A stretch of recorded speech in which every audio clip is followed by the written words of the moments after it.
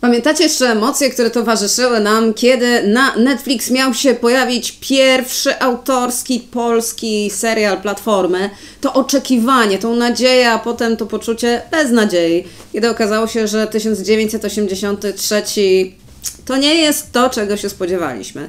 Dwa lata musiały minąć, żeby na Netflix pojawił się drugi polski serial Platformy. I tym razem, jest to naprawdę bardzo dobra wiadomość, nie mamy się czego wstydzić.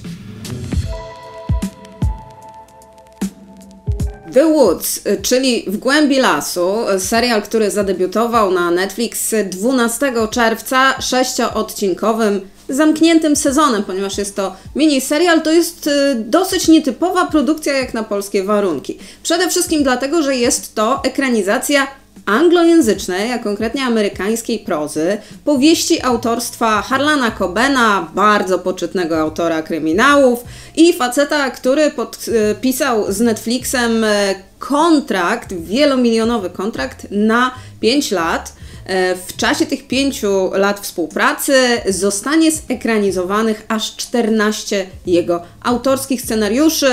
Mówię tutaj o książkach, ale również o scenariuszach, które zostały mm, albo zostaną napisane na podstawie mm, oryginalnego autorskiego pomysłu autora. W głębi lasu, czyli po prostu po angielsku The Woods, jest trzecim z tych e, zapowiedzianych 14 seriali. Najpierw mieliśmy Safe, to akurat na podstawie autorskiego scenariusza Cobena. Mieliśmy również The Stranger, e, to z kolei ekranizacja książki. Anglojęzyczne seriale na podstawie Cobena, no a tutaj proszę, mamy pierwszy, który został wyprodukowany poza Stanami Wielką Brytanią, a konkretnie w Polsce i po polsku. Każdy, kto oglądał jakikolwiek serial na podstawie Cobena, wie, że są to zwykle zamknięte historie składające się z około 6 do 8 odcinków. Fabuła pełna jest zwrotów akcji i niewyjaśnionych historii, które mają swój początek lata wcześniej. Wyreżyserowany przez Leszka Dawida i Bartosza Konopkę w Głębi Lasu jest właśnie taką produkcją. Serial opowiada historię warszawskiego prokuratora Pawła Kopińskiego, który w 1994 roku w niewyjaśnionych okolicznościach stracił siostrę. Razem z trójką innych nastolatków któregoś dnia weszła do lasu i po prostu zaginęła, a po latach wychodzą na jaw różne nowe okoliczności związane z tym zaginięciem, z tą tragiczną historią sprzed lat.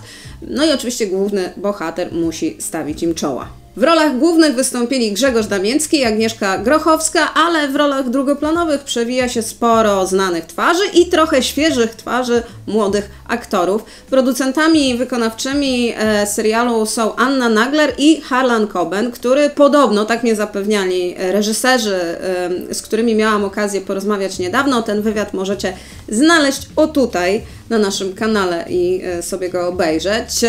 E, miał spory wpływ na to, jak finalnie ten e, serial wyglądał, a przede wszystkim nadzorował zmiany, które zostały wprowadzone w scenariuszu. Bardzo ważna dla produkcji była e, też sama Nagler, która przez lata wcześniej związana była z HBO Polska i współpracowała przy takich znanych polskich tytułach jak choćby Pakt, Watacha czy Bez Tajemnic a ostatnio przeszła do Netflixa nadzorować produkcje autorskie tej platformy na Europę Środkowo-Wschodnią i nie tylko przyłożyła naprawdę się bardzo mocno do tego, jak wygląda w głębi lasu od strony merytorycznej, ale nawet wystąpiła w niewielkiej epizodycznej roli. O ile w przypadku 1983 roku Netflix y, postawił na ludzi nowych i świeżych, jeśli chodzi o produkcję seriali, to w przypadku W głębi lasu y, wzięli ludzi sprawdzonych, ludzi z dużym doświadczeniem i ta decyzja się absolutnie zdecydowanie opłaciła, dlatego że w głębi lasu jest takim solidnie nakręconym serialem, sześcioodcinkowym miniserialem, który się po prostu dobrze ogląda. Nie jest to coś bardzo oryginalnego. To musimy sobie powiedzieć już na wstępie. To jest serial, który mm, po prostu bardzo dobrze pasuje do swojego gatunku, jest kolejnym reprezentantem takich e, mrocznych kryminałów, trochę w klimacie Nordic Noir, trochę w klimacie brytyjskich kryminałów. E, nie jest to, jak mówię, serial, który powali e, jakimiś odkrywczymi środkami, na przykład wyrazu, czy jakąś mega oryginalną treścią, bo jak mówię, wszystkie seriale na podstawie Cobena mają mniej więcej podobny schemat, ale jest to serial uniwersalny, który może się spodobać nie tylko w Polsce, ale również szeroko poza jej granicami. Samo zadanie, jakim było przełożenie amerykańskiego oryginału na polski grunt, nie było łatwe. Trzeba było dokonać sporych zmian w oryginalnym materiale, ale wszystkie te zmiany były nadzorowane przez Harlana Cobena, zostały przez niego jak najbardziej klepnięte. Moim zdaniem poradzono sobie e, naprawdę dobrze z przeniesieniem tego w taki sposób, żeby historia była zarówno lokalna, jak i uniwersalna. Realizacyjnie czy zdjęciowo jest dobrze. Paweł Flis, który był odpowiedzialny za zdjęcia do tego serialu, to jest bardzo doświadczony operator, który pracował choćby na przykład nad paktem HBO. W głębi lasu, którego akcja rozgrywa się współcześnie i w latach 90., wyraźnie oddziela płaszczyzny czasowe za pomocą sposobu filmowania i koloryzacji.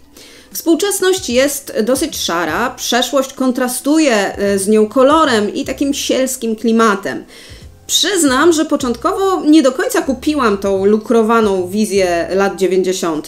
Pytałam o to nawet podczas wywiadu, ale rozumiem e, argumenty twórców, że jest to przeszłość przepuszczona przez filtr pamięci głównego bohatera, który po prostu idealizuje ją w taki, a nie inny sposób. Jeżeli porównamy e, polską adaptację prozy Kobena, to naprawdę nie odstaje ona od tego, co wcześniej wyprodukowali Brytyjczycy czy Amerykanie. To jest naprawdę solidna robota i y, uważam, że zarówno jeśli chodzi o stronę techniczną, jak i o stronę aktorską, na plus y, wyróżniają się młodzi aktorzy i to jest zresztą ten aspekt, na który zwracają też uwagę y, anglojęzyczni, zagraniczni recenzenci. Natomiast ja chciałabym jeszcze skupić się na jednej rzeczy, mianowicie na tym, jak bardzo serial jest spójny. To jest adaptacja gotowej powieści. Owszem, są tam zmiany, ale dzięki temu, że mamy tam po prostu napisaną już, wymyśloną przez kogoś innego historię, to ona jest dobrze zamknięta. My produkując, my mówię Polacy, polscy twórcy, produkując na potęgę seriale kryminalne, bo w Polsce mamy ogromną słabość właśnie do tego gatunku. Bardzo często mamy problem z finałem, z ostatnimi odcinkami. Przypomnijcie sobie choćby Belfra, przypomnijcie sobie choćby Roysta. E, mamy świetnych filmowców, mamy fajnych aktorów, mamy ciekawe pomysły, ale jakimś cudem na końcu coś nie styka. Tutaj tego problemu nie ma, no bo jak mówię, no jest napisana książka, jest już napisany finał, w związku z czym bardzo trudno było to zepsuć i nie zostało to zepsute. To, że w tej recenzji skupiam się głównie na pozytywach, wcale nie oznacza oczywiście, że w głębi lasu jest serialem idealnym. Nie jest. Jest bardzo typowym reprezentantem pewnego e, takiego, powiedziałabym, komercyjnego gatunku, e, jakim jest właśnie taki mini serial kryminalny. Uprawiają ten gatunek wszyscy na całym świecie. E, świetnie radzą sobie z nim Amerykanie, świetnie radzą sobie z nim Brytyjczycy, Skandynawowie. Nie widzę potrzeby, żeby zestawiać The Woods z takimi naprawdę bardzo ambitnymi serialami, jak choćby, nie wiem, wychwalane ostatnio przez nas I Know This Much Is True, czyli To Wiem na pewno, y, miniserial HBO, bo to jest taka autorska wizja, adaptacja bardzo trudnego materiału wyjściowego. Natomiast y, w głębi lasu to jest po prostu serial, który ma przynosić nam rozrywkę, ma nas wciągnąć na jeden, dwa wieczory i to jest wszystko. Dlatego też uważam, że to jest dobry produkt. I tu musimy sobie to powiedzieć jasno i otwarcie. W głębi lasu to jest dobry produkt, ale to nie jest serial wybitny. To jest dobry produkt, żeby sobie właśnie obejrzeć w weekend, z rodziną usiąść, e, dobrze się bawić, być e, zadowolonym z tego, jak się ten serial zakończył. Nie rozczarować się za bardzo, ale też, żeby się nie rozczarować, trzeba mieć świadomość tego, z czym się mierzymy.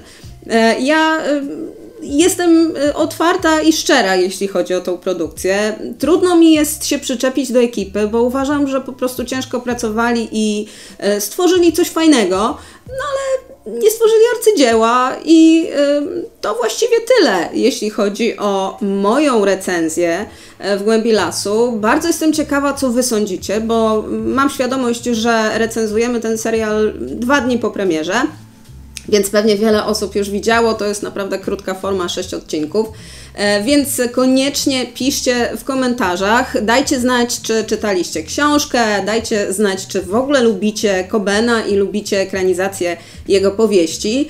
Mm, a jeżeli chcecie być na bieżąco z innymi recenzjami, innymi e, naszymi materiałami e, serialowymi, no to koniecznie nas subujcie i jeżeli chcecie dostawać powiadomienia, to kliknijcie też dzwoneczek, to jest bardzo ważne, bo inaczej ten sub się praktycznie na nic nie przekłada, jesteście tylko cyferką, a nie dostajecie tego, co jest najważniejsze, czyli właśnie powiadomienia. A poza tym, jeżeli chcecie być na bieżąco z innymi około serialowymi rzeczami, no to koniecznie wpadajcie na naszego Twittera, Facebooka i Instagrama, szczególnie, że zaraz wyjeżdżamy śladami Dark.